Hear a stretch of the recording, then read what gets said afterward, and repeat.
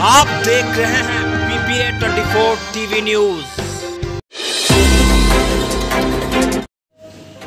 नमस्कार PPA 24 news में आपका स्वागत है।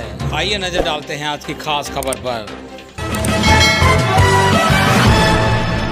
मामला है कानपुर देहात के अकबरपुर थाना क्षेत्र के कचनार बगिया का, जहाँ दबंगों का कहर जारी, एक ही परिवार के आधा दर्जन सदस्यों को धारदार हथियार और कुल्हाड़ी से किया वार।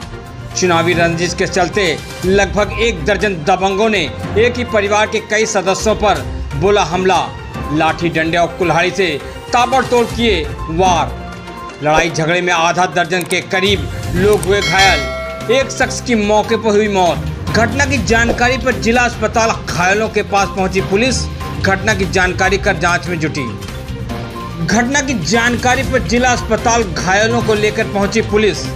घटना की जानकारी कर जाँच में जुट घटना की जानकारी कर जाँच में जुटी पुलिस।